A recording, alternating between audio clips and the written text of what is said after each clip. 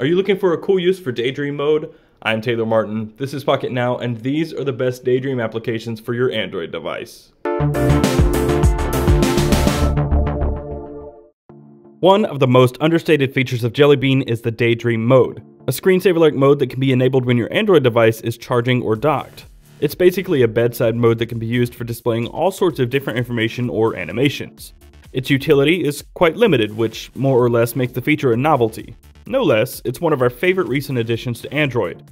As such, we've composed a list of our favorite Daydream apps that you can download from Google Play. First up is one of the most popular Android widgets of late, Dash Clock Widget, created by Google's own Roman Nurik. At the surface, Dash Clock looks like your standard clock widget with a few customizable features. But dig through the settings for just a minute and you will see there's much more to it than that. There are hundreds, if not thousands, of third-party extensions for Dash Clock that can be downloaded from Google Play everything from battery indicators and moon phase extensions to a constant display of your Klout score. Dash Clock also comes with a Daydream mode, of which you can customize to your liking. You can adjust the text color, animation style, and brightness. The rest of the appearance settings, such as extensions, extension order, clock style, and date style, will also be reflected in the widgets of your home screen and lock screen. For us, this has been the best way to cram as much information as possible in the Daydream mode.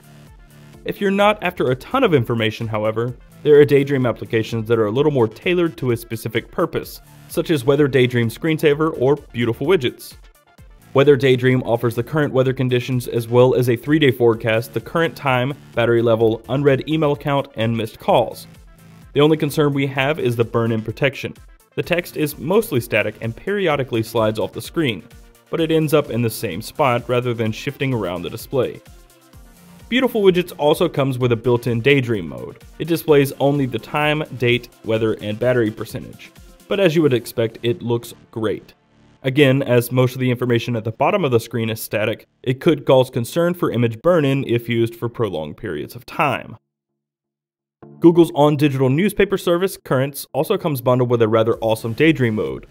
Log into your Currents account and set it as the default. Your subscriptions are displayed on your screen in a slow pan. Tapping a headline or thumbnail will bring a preview of the associated article up for quick viewing, and you can open directly into the article in Currents if you tap one more time. This is very neat and useful sitting on our desk in the office. And if you're in need of some inspirational quotes, Daydream Quotes offers just that. The setup is extremely simple. Choose the interval for changing quotes and set the text size. Famous quotes will periodically display, hopefully giving you a better outlook on your day. We fell in love with this one, even as cliche and cheesy as the whole idea is. And if none of these Daydream modes do it for you, there is one that just might.